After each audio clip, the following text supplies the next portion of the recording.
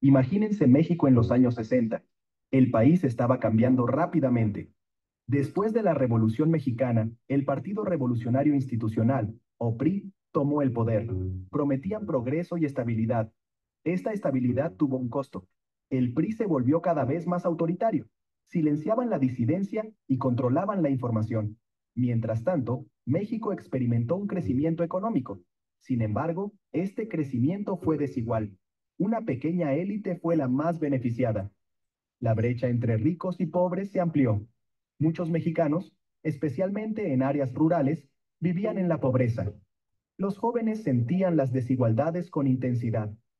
Veían un futuro diferente para México.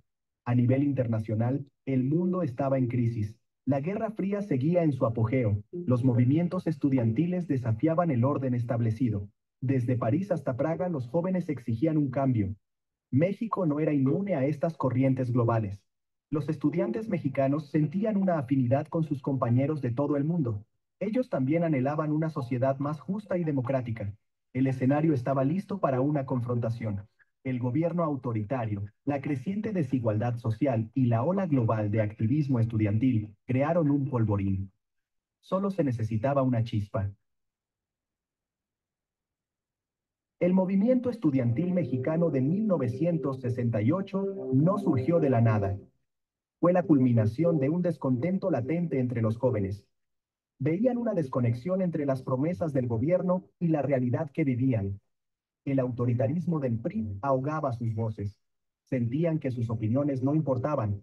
La desigualdad social alimentaba su ira. Mientras que la Ciudad de México presumía de una infraestructura moderna para los Juegos Olímpicos de 1968, muchos estudiantes provenían de entornos empobrecidos luchaban por cubrir sus necesidades básicas. Veían las Olimpiadas como un espectáculo que enmascaraba el verdadero rostro de México. Los acontecimientos internacionales avivaron las llamas de su descontento. La guerra de Vietnam continuaba, poniendo de manifiesto la brutalidad del imperialismo. Las protestas estudiantiles estallaron a nivel mundial, exigiendo justicia social y libertad política. Los estudiantes mexicanos se sintieron inspirados por estos movimientos. Se dieron cuenta de que no estaban solos en su lucha. Los estudiantes anhelaban un México más democrático. Querían tener voz y voto en su futuro. Exigían respeto por sus derechos humanos básicos. Sus frustraciones, alimentadas por la injusticia social e inspiradas por los acontecimientos mundiales, alcanzaron un punto de ebullición. Se sembraron las semillas de la rebelión, En julio de 1968, un enfrentamiento aparentemente menor entre estudiantes se convirtió en una crisis nacional. El gobierno respondió con una fuerza desproporcionada, lo que enfureció aún más al estudiantado. Este acontecimiento resultó ser el catalizador que el movimiento necesitaba. Los estudiantes se dieron cuenta de que necesitaban un frente unido para amplificar sus voces. Así nació el Consejo Nacional de Huelga, o CNH, este Consejo Nacional de Huelga se convirtió en el órgano coordinador del movimiento. Reunió a representantes de diferentes universidades y escuelas. El CNH proporcionó una plataforma para que los estudiantes articularan sus demandas. Las demandas de los estudiantes eran claras. Pedían el fin de la brutalidad policial y la liberación de los presos políticos. Exigían responsabilidades por la violencia que se ejercía sobre ellos. Buscaban la derogación del autoritario artículo 145 del Código Penal, que coartaba la libertad de expresión. Sus demandas no eran radicales, eran súplicas por los derechos humanos básicos y las libertades democráticas. Con el CNH como guía, los estudiantes llevaron sus demandas a las calles. Las marchas y manifestaciones pacíficas se convirtieron en algo habitual en la Ciudad de México. Decenas de miles de estudiantes, a los que se unieron trabajadores e intelectuales solidarios, marcharon por el cambio. Sus voces resonaron por las calles, exigiendo ser escuchadas. En una marcha emblemática, los estudiantes transformaron la bandera mexicana en un símbolo de protesta. La llevaron al revés con un crespón negro atado, lo que significaba su luto por la situación del país. Esta poderosa imagen captó la atención del país y del mundo. Los estudiantes utilizaron formas creativas de protesta, Organizaron actos culturales, recitales de poesía y representaciones teatrales para difundir su mensaje.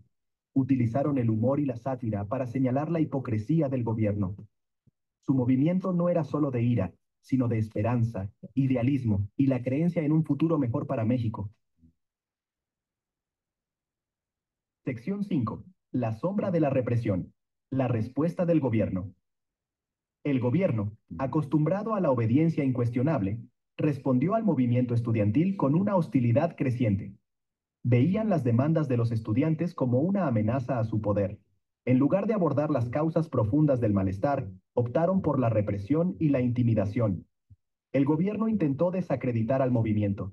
Presentaron a los estudiantes como agitadores comunistas influenciados por potencias extranjeras. Los medios de comunicación controlados por el Estado difundieron propaganda, presentando a los estudiantes como una turba peligrosa que amenazaba la estabilidad de México. A medida que las protestas crecían, el gobierno desplegó al ejército para que patrullara las calles de la Ciudad de México. La presencia militar creó una atmósfera de miedo e intimidación. Los estudiantes eran acosados, golpeados y detenidos por el mero hecho de expresar sus opiniones. Las tácticas represivas del gobierno resultaron contraproducentes alimentando la determinación de los estudiantes y atrayendo a más partidarios a su causa. Sección 6. Tlatelolco. Una noche de tragedia y silencio. El 2 de octubre de 1968, diez días antes de los Juegos Olímpicos, el movimiento estudiantil alcanzó un trágico clímax. Una gran concentración estudiantil en la Plaza de las Tres Culturas de Tlatelolco, en la Ciudad de México, se convirtió en una masacre. El gobierno, decidido a aplastar el movimiento antes de que los focos internacionales se centraran en los Juegos Olímpicos, desató toda su fuerza. Mientras los estudiantes se reunían pacíficamente, se oyeron disparos desde los edificios circundantes. El ejército, ayudado por un grupo paramilitar en la sombra conocido como el Batallón Olimpia, abrió fuego contra la multitud desarmada Hundió el pánico cuando la gente corrió a refugiarse. La masacre continuó durante horas. El número exacto de víctimas sigue sin conocerse a día de hoy. El gobierno intentó encubrir el alcance de la carnicería. Destruyeron pruebas y silenciaron a los testigos. Las estimaciones oscilan entre cientos y miles de muertos, con innumerables heridos y desaparecidos. Tlatelolco se convirtió en un escalofriante símbolo de la violencia de Estado y en un crudo recordatorio del coste humano de la represión. Sección 7. Las cicatrices invisibles. Consecuencias inmediatas del movimiento. El periodo inmediatamente posterior a la masacre de Tlatelolco fue de conmoción y miedo. La brutal represión del gobierno silenció la disidencia. El movimiento estudiantil, que en su día fue una vibrante fuerza de cambio, quedó aplastado por el peso de la violencia estatal. Los Juegos Olímpicos, destinados a mostrar el progreso de México, se celebraron bajo una nube de dolor y represión. El mundo fue testigo de la voluntad del gobierno mexicano de recurrir a la violencia para mantener su control sobre el poder. La masacre de Tlatelolco dejó profundas cicatrices en la sociedad mexicana. Hizo añicos la ilusión de estabilidad y progreso que el PRI había construido cuidadosamente. Dejó al descubierto la verdadera naturaleza del gobierno, autoritario, y dispuesto a silenciar a su propio pueblo. Sección 8. Ecos del 68. Impactos a largo plazo en la sociedad mexicana. Aunque el movimiento estudiantil fue brutalmente reprimido, su impacto en la sociedad mexicana resonó durante décadas. Los acontecimientos de 1968 marcaron un punto de inflexión en la relación de México con su gobierno. La masacre de Tlatelolco hizo añicos el mito del PRI benefactor. El movimiento plantó las semillas para futuros cambios sociales y políticos. Inspiró a una nueva generación de activistas y defensores de los derechos humanos. Condujo a un lento pero constante proceso de democratización que culminó con el fin del régimen unipartidista del PRI en el año 2000. Los acontecimientos de 1968 también condujeron a una mayor concienciación sobre los derechos humanos en México. Surgieron organizaciones de la sociedad civil que exigían responsabilidades por las atrocidades del pasado y abogaban por la justicia social. El movimiento contribuyó a allanar el camino hacia un México más abierto y democrático, donde la disidencia ya no se recibe con balas. Sección 10. El legado del 68. Lecciones para la generación actual. El movimiento estudiantil mexicano de 1968, aunque brutalmente aplastado, dejó un legado perdurable para las generaciones venideras sirve como un conmovedor recordatorio de que el cambio no llega fácilmente, que la lucha por la justicia social a menudo requiere un sacrificio inmenso. Los acontecimientos del 68 nos enseñan la importancia de alzar la voz contra la injusticia, de exigir responsabilidades a nuestros líderes y de no dar nunca por sentadas nuestras libertades. Nos recuerdan que la apatía no es una opción cuando los derechos de nuestros semejantes están en juego.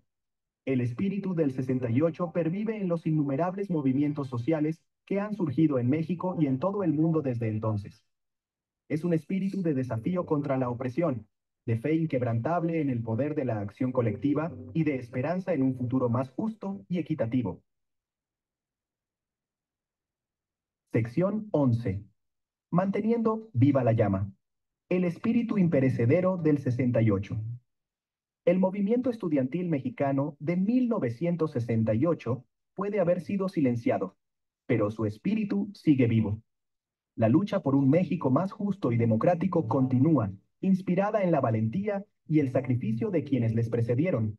Es nuestra responsabilidad mantener viva la llama del 68, honrar la memoria de las víctimas, continuando la lucha por los ideales por los que murieron.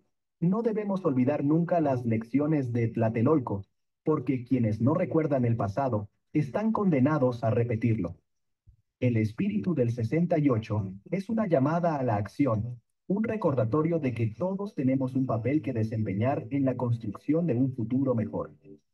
Es una llamada a estar informados, a comprometernos y a no dejar nunca de cuestionar el statu quo. El legado del 68 nos recuerda que el cambio es posible, pero requiere una vigilancia constante una valentía inquebrantable y la acción colectiva de quienes se atreven a soñar con un